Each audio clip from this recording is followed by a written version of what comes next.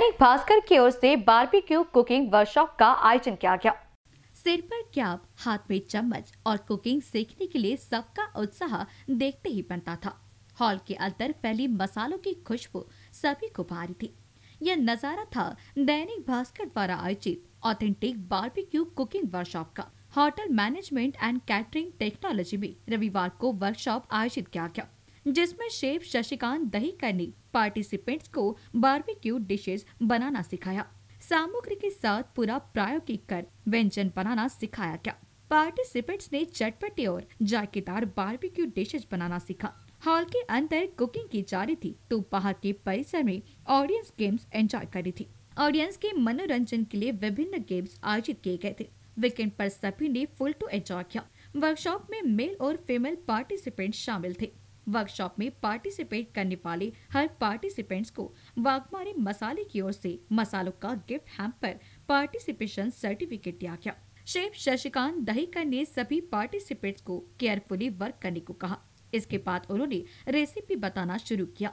सभी पार्टिसिपेंट को separate station दिए गए थे, जिसमें वेज और नॉन वेज के लिए उनकी बनाई जाने वाली रेसिपी की सामग्री रखी गई थी। नॉन वेज में अमृतसर की fish tikka achari tikka chicken tikka, snacks, बनाना सिखाए। वेज में पनीर टिक्का, मशरूम के स्नैक्स, शिमला मिर्च स्टार्टर आदि बनाना सिखाया गया। ठंड के मौसम में बाहर जल रहे चूल्हे में स्टिक में फंसा कर बारबेक्यू को सेका गया। इस तरह से ठंड के मौसम में गर्मा गर्म स्टार्टर्स का सभी ने आनंद लिया। पार्टिसिपेंट्स का कहना था कि वर्कशॉप बढ़िया रहा। हर डिशेस को अच्छी तरह से डिस्क्राइब किया गया।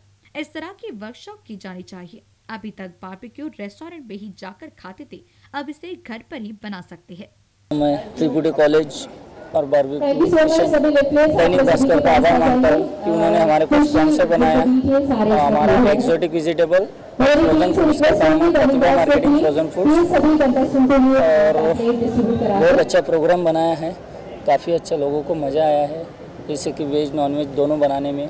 और सेब शशिकांत दैकर जी बहुत बढ़िया सेफ़ है। उनकी तरफ़ से लोगों को बहुत कुछ सीखने को मिला है।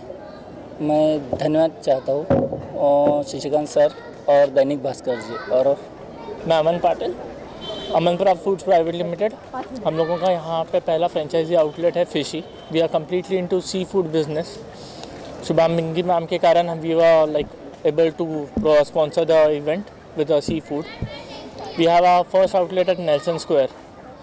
We have हम लोगों का पूरा सी फ़ूड का है सी फ़ूड में fishes prawns crabs squid everything Nagpur का पहला आउटलेट है जहाँ पे आपको eight to eight everything you get camera person Rajkumar Mohar के साथ अभिषेक पांसी की रिपोर्ट।